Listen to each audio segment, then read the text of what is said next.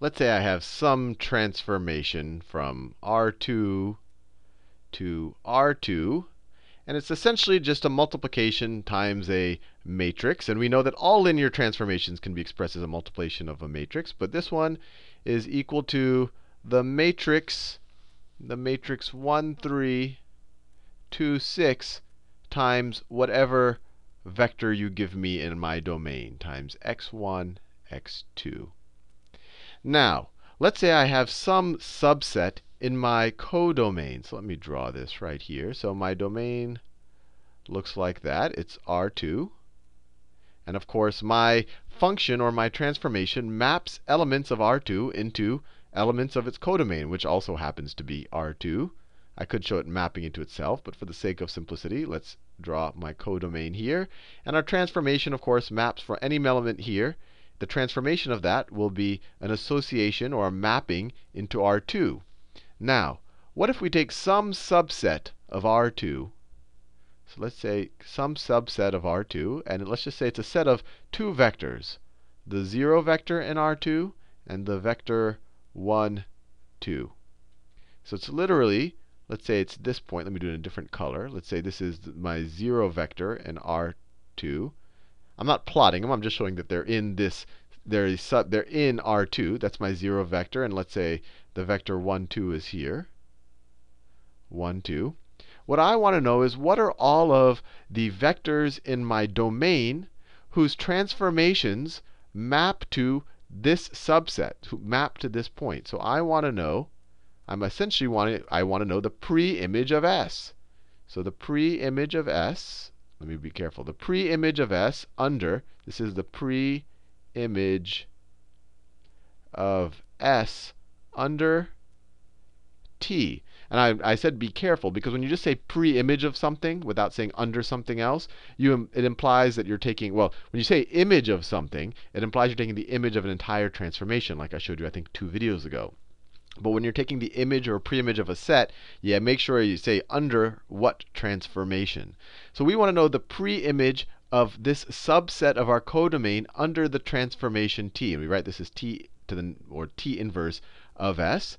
And we saw in the last video, this is all of the x all of the elements in our in our domain in our domain where the transformation of those x's is a member of the subset of our codomain that we're trying to find the pre-image of. Right? Now, what is another way of writing this? Well, this is, you could write this, is we're trying to look for all of the x's in our domain such that this vector, let's call this A, that matrix A, such that A times x is a member of S. So that means A times x has to be equal to this or has to be equal to that. So that means a times our vector x has to be equal to the 0 vector, or a times our vector x has to be equal to this vector 1, 2. This is the exact this is the uh, the exact same statement as this one right here. I just made it a little bit more explicit in terms of our actual transformation, a times x, and in terms of what our actual set is. Our set is just two vectors. So if we want to determine the pre-image, if we want to determine the pre-image of S, so we write that t in the pre-image of S under t, that set there, we essentially have to just find all of the x's that satisfy these two equations right there. So this equation, that's so we have to find all of the x's that satisfy the first one right here is the matrix 1, 3, 2, 6 times x1, x2 is equal to the 0 vector. That's this equation right there. We need to find all of the solutions to that. And you might already recognize that all of the solutions to this, the, all of the x's that satisfy this, is the null space of this matrix. I just thought I would point that out on the side. Now, uh, we, that's not the only one. We also have to solve this guy over here. I'll do that in blue. So the, the, the preimage of S under T is going to be all of the solutions to this, or plus all of the solutions 2, 1, 3, 2, 6 times x1, x2 is equal to 1, 2. Now, we could just solve this with an augmented matrix. So my augmented matrix would look like 1, 3, 2, 6, 0, 0. And here my augmented matrix would be 1, 3, 2, 6, 1, 2. Let's put this in reduced row echelon form. So let's replace our second row with our second row minus 2 times the first row. So what do we get? Our first row stays the same. 1, 3, 0. Let me do it let me do them simultaneously. Let me solve these systems in parallel. So my first system stays, first row stays the same, 1, 3, 1. And in both cases, because I just want to get the left-hand side of my augmented matrix into reduced row echelon form, I can apply the same row operation. So I'm replacing my second row with 2 times my first row. So 2 minus 2 times 1 is 0. 6 minus 2 times 3 is 0. And of course, 0 minus 2 times 0 is 0. Here, 2, 2 minus 2 times 1 is 0. 6 minus 2 times 3 is 0. And 2 minus 2 times 1 is 0. So we get all these zeros, and we're actually done. We have both of these augmented matrices in reduced row echelon form. And how do we go back to solve all of the x, x1s and x2 that satisfy these? Well, you recognize that our first columns right here are pivot columns. And these are associated with our variable x1. So we know that x1 is a pivot variable. And we know that the second column is a non-pivot column because it has no 1s in it. And so it's associated, and it's associated with x2. And since x2 isn't a pivot column, we know that x2 is a free variable. x2 is a free variable, which essentially set means we can set x2 to be anything. So let's just set x2. x2 is equal to t, where t is a member of the reals. In this case, what is x1 going to be equal to? So here, this top equation says, let me write it. If we just kind of go back to this world right here, this means that x1 plus 3x2 is equal to this 0 here. This top line right here says x1 plus 3x2 is equal to 1.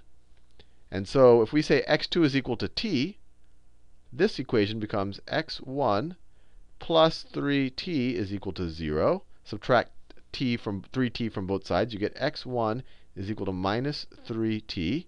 And then this equation, you get x1 is equal to, if we substitute x2 with t, is x1 is equal to 1 minus 1 minus 3t.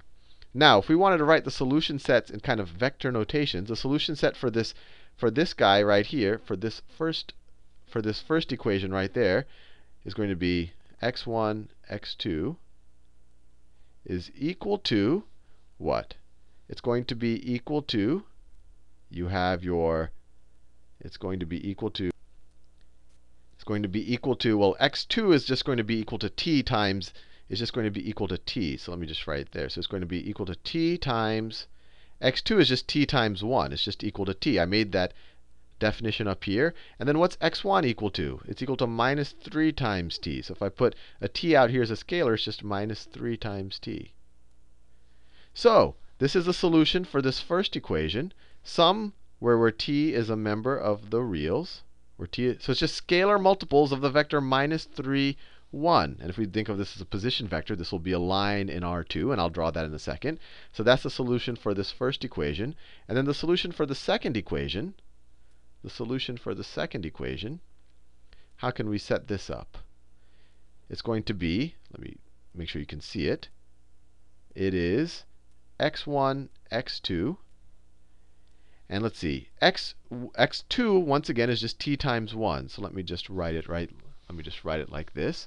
So it's t times 1. That's x2. Now what's x1? x1 is equal to 1 minus 3 times t. So if we do a minus 3, that gives us our minus 3 times t. But we need to do a 1 minus that, or 1 plus minus 3 times t. So what we can do is we could say that all the solution set here is equal to the vector 1 here. So now we have 1 plus minus 3 times t for x1. And then here we could say is 0. x2 is equal to 0 plus t, or x2 is equal to t. So this is the solution set for the second, for the second equation. So our pre-image of s, and remember s, S was just these two points in our codomain. The preimage of S under T is essentially all of the x's that satisfy these two equations. And let's actually graph those. Let me turn on my graphs. It makes it look a little bit messy, but let me graph it. Well, let me graph it down here. Let me copy and paste my my two results. So I get, then I want to paste it. So those are my two results. Let me put my pen back on. And now what I can do is I can graph it right here. So let's see. The, the solution set for that first equation is all the multiples of the vector minus 3, 1. So the vector minus 3, 1, minus 3, 1 looks like this. This, this solution, minus 3, 1 looks like this. Looks like that. That's the vector minus 3, 1. But my solution set is all the scalar multiples of minus 3, 1. This is a comma right here. Right? So if I just take all the scalar multiples of minus 3, 1, it's going to look like this. So if you take 2 times it, you're going to have minus 6, 2. So you're going to get like that. So it's going to be all of, let's see, it's going to be all of these points right here. I wish I could draw it a little bit neater, but I think you get the idea. It's going to be a line like that. That is that solution set right there. And then what is this solution set right here? It's the vector 1, 0. So we go out 1 and uh, 0, so that's there, plus scalar multiples of minus 3, 1. So plus scalar multiples of this. So plus scalar multiples. So if we just add one scalar multiple of minus 3, 1, we'll end up, we'll end up right, right there. But we want to put all the scalar multiples of it because we have this t right here. So we're going to end up with another line with the same slope, essentially, that's just shifted a little bit. It shifted 1 to the right. It shifted 1 to the right. Now, what were, why, why did we do all of this? Remember, what we wanted to find out is what were all of the vectors. What were all of the vectors? Let me turn off the graph paper. What were all of the vectors in our domain that when we apply the transformation map to vectors, map to vectors within our subset of our codomain, map to either 0, 0 or the vector 1, 2. And we figured the, all of those vectors out by solving these two equations. And we were able to see that these two lines, when I turn my graph paper on, they map to the points. So when these guys, when you apply the transformation, I'll draw it all on the same graph, they map, when you apply the transformation, to the points 0, 0 and to the point 1, 2, which was right here. So all of these points, when you apply the transformation, and actually all of the ones in the blue, they map to 0, 0, because they solved this top equation. And all the ones in orange, when you apply the transformation, map to the point 1, 2. Map to the point 1, 2. Now, this blue line right here, this has a special, a special name for it.